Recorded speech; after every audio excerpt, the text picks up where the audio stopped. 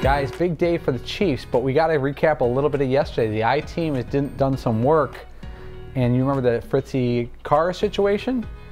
One of the members of the I team was driving home yesterday and pinpointed the exact spot where Fritzy's car was attacked by paint. I can confirm this report. Yeah, this is real close to the studio, Dan, as you make a right. And uh, clearly it fell off the back of someone's truck.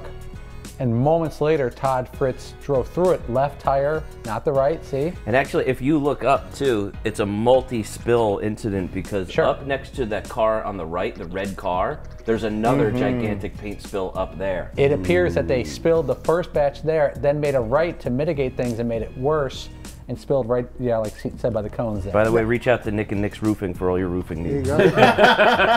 For advertising right there. Uh, now, now I'm wondering if was I being not paying attention? Should I be able to swerve out of the way? Or did I don't know when You that not happened. paying attention. But, I, but you're not So really- you- you're not necessarily staring at the concrete in, right in front of the well, car. you don't stare at the concrete. Whilst you, driving? You just, Well, you so Well, you you're kinda stare straight everything. ahead when well, you're you're looking driving. at the rear view. You're looking at who you know. So if that was a body, you would have just hit that too? I don't think so. I If it was another car, you would have hit that. do you think your phone was in your hand?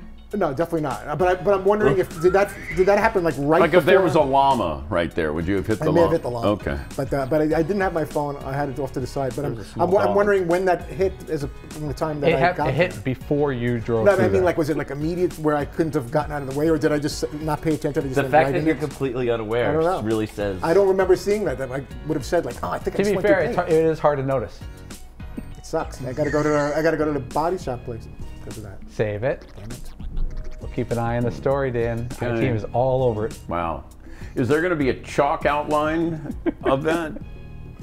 At least it makes sense now why it was just on my left side and totally fine. Well, on my actually, right. what's interesting though is that it's just on your left side, which this is actually Uh-oh. in the middle of the lane, which means your right side was probably over Ooh. here somewhere. wow, That's- swerving a little bit. I was, Yeah. I wasn't So fully you're saying if he, if he was driving properly, it would have gone. If he right was driving through me. straight, it would have oh. gone Are you right saying in I the should middle. stay in but my lane? instead, What is that Todd was said? clearly half in mm, both lanes. wow. There it is. No, Todd just got a bloop. I, I should Stay in I your gotta stay in lane. my We lane. We couldn't hear it. Someone yeah, spiked my stay in your lane. That's what happened. Bloop, bloop. There it is. Orange All soda. right.